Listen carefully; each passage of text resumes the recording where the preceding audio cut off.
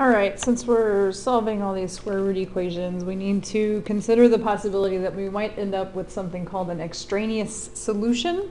Uh, what is an extraneous solution? It's one that when you work through and you get all the way to the end, it looks like you completely got the right answer. But if you go back and check it, you find out that it doesn't work in the original equation. Uh, this happens because we square things as a means to solve. So for example, let's look at 3x equals the square root of 5x plus 4. All right, uh, simple enough. If you're caught up especially, you know to cancel that square root. We're going to square that side, square this side. And when I do that, be careful, 3x times 3x, 9x squared, now equals the square cancels out the square root, 5x plus 4. This is the first time, though, that we've ended up with an x squared we have to deal with. Well, remember, way back to when we were doing quadratic equations, I need this equal to 0 before I can do anything. To make that happen, I'm going to move the 5x and the 4 to the other side, and I get 9x squared minus 5x minus 4 equal to 0. Now we're going to hope it's factorable, because I really don't want to mess with the quadratic formula don't have my calculator handy to be able to graph it and see where those cross. So we're going to multiply a times c, 9 times 4, negative 4, sorry, is negative 36, and I need the factors that multiply to negative 36, and when I add them together, it's going to equal negative 5.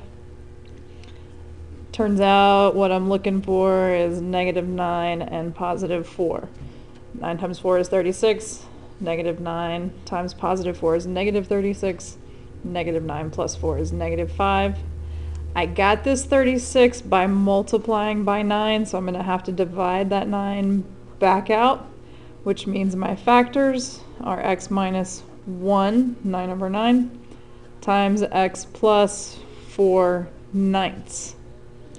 Now, I could rearrange that and make that 9x plus 4, but because I'm looking for solutions, I don't need to do that. Remember, we can stop here and pull those values straight out so that I get x equals negative 1 and negative, sorry, positive 1 and negative 4 ninths it looks like we're finished, right? It's real tempting to just check it off and move on to the next one.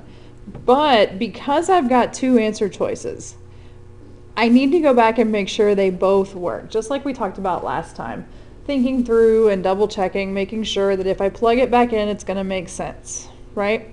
Not only to the radical, but to the equation as a whole.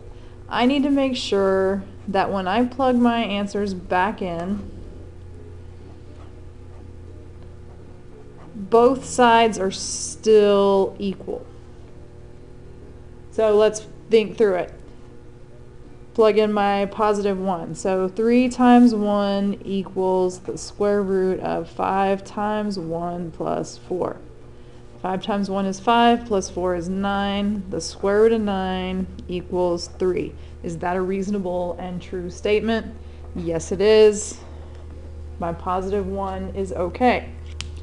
So let's check the negative 4 ninths. If I plug negative 4 ninths in,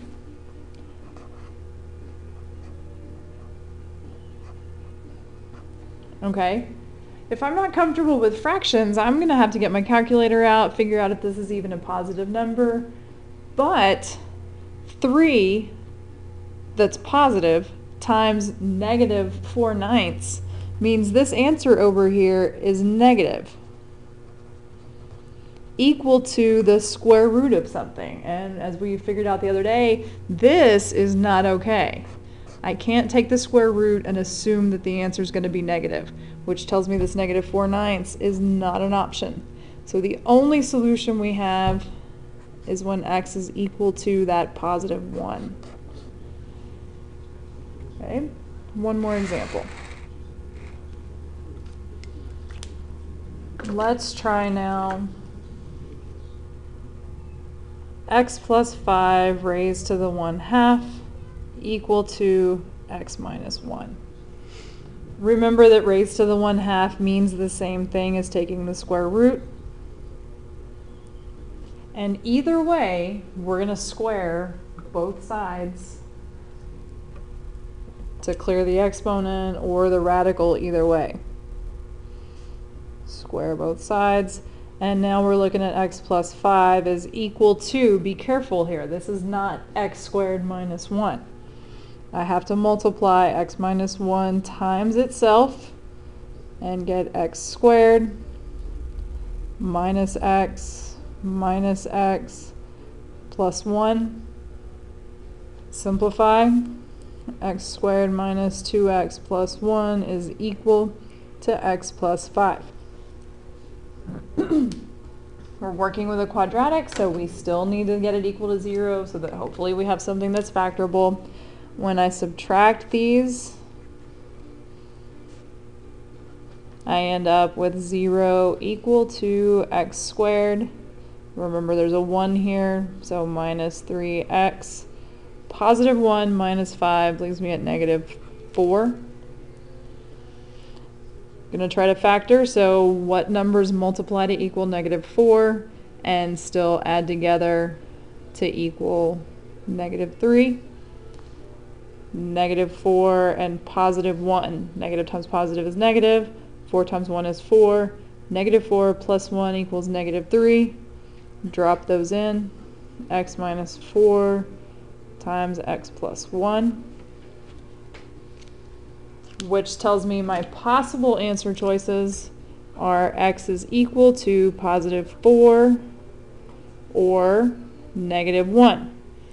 So we're going to take those back. It's not quite as obvious this time. I don't just have the x sitting by itself.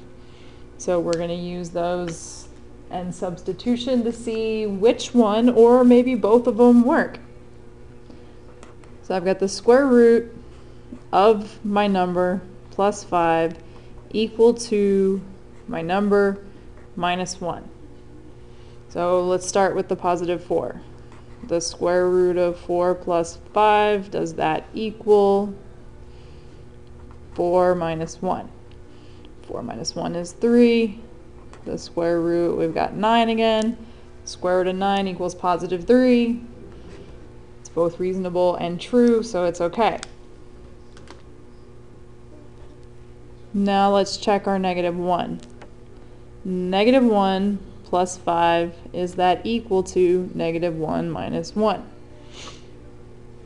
Here I've got the square root of 4, okay to work with, but negative 1 minus 1 is negative 2.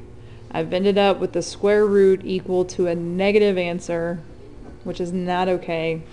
I can't use the negative 1. My only solution x equals positive 4.